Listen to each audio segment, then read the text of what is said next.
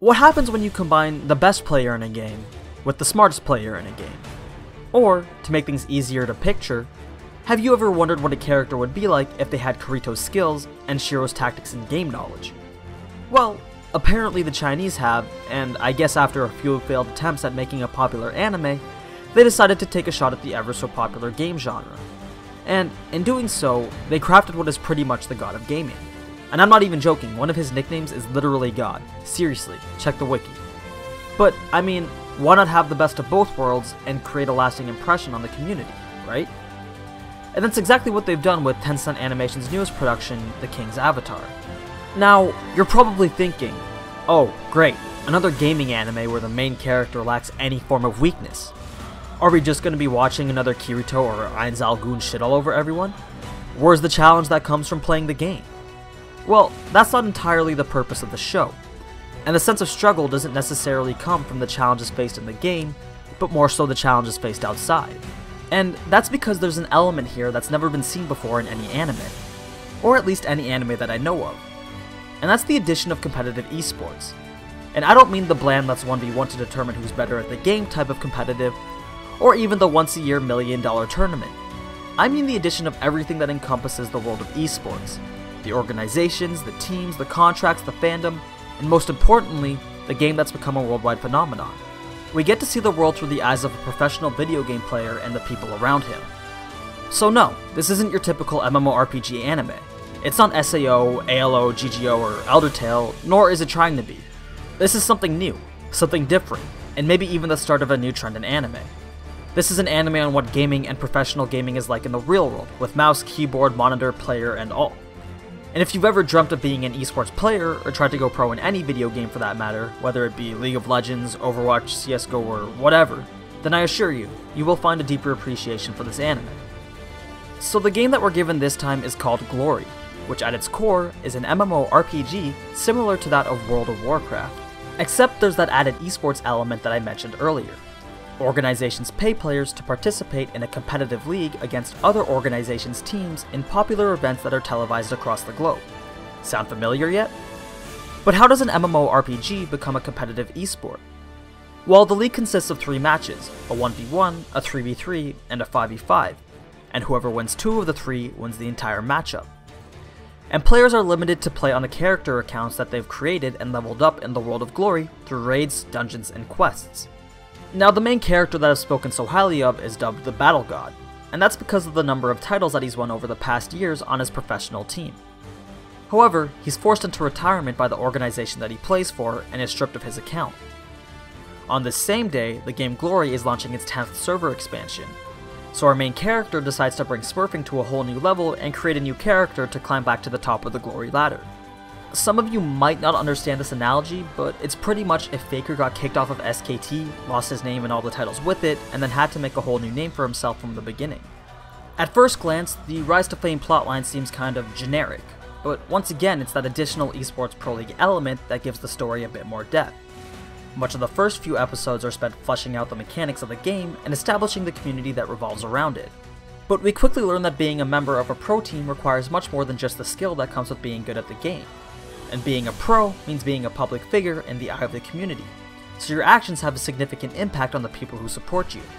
Which pretty much means that you can't rage like a little girl through your mic when you're losing because your actions have consequences.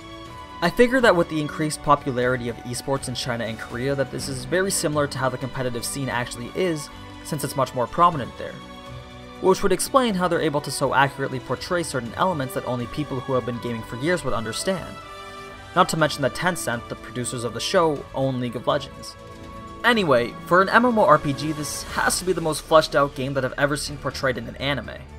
The classes are distinguished early on, bosses are categorized and act in a manner that is suitable to an MMORPG, skills are identified as they are used, crafting is emphasized as the best way to create gear and weapons, loot is fought over, clear times are competed for, guilds compete to be the first ones to complete areas, and they even go as far as to talk about player APMs, which in case you didn't know are actions per minute. For anyone that's played any MMORPG, it's an anime that finally does the game type some justice. Now let's talk about Ye Xiu, our main character. Once the player known as One Autumn Leaf, another player known as Lord Grim.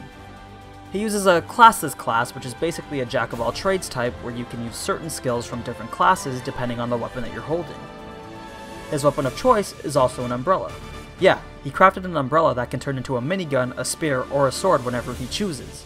But playing as a classless character is often seen as a rookie mistake because it's not quite meta in the pro scene.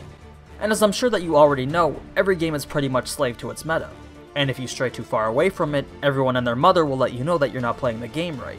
But it's the way that Mr. Grim uses his characters in battle that makes this show's in-game action scene so fun to watch. Normally with these types of anime, it's either the main character is super overpowered or he's super smart. Rarely you'll find that one does both, and if you do, it's usually backed up by very little information. But in this show, there's a heavy emphasis on game knowledge. And this was one of the aspects that appealed to me the most when I was watching because it resonated with me a lot. That's because I play Overwatch. A lot of Overwatch. I even managed to get myself to top 500 on console. I also watch a fair bit of esports, and I realized over time that game knowledge is just as important, if not more important, than having the skills that deem a player to be good, especially in a team game. So seeing that Ye Xiu is aware of this and is capable of using his game knowledge of 10 years to teach any noob how to become a top tier player is something refreshing. This guy would literally join a random party, beat a high skill cap boss with them, and then leave. Obviously there's more to it than that, but I don't really want to spoil anything. So what I'm trying to get at is, his skills aren't baseless.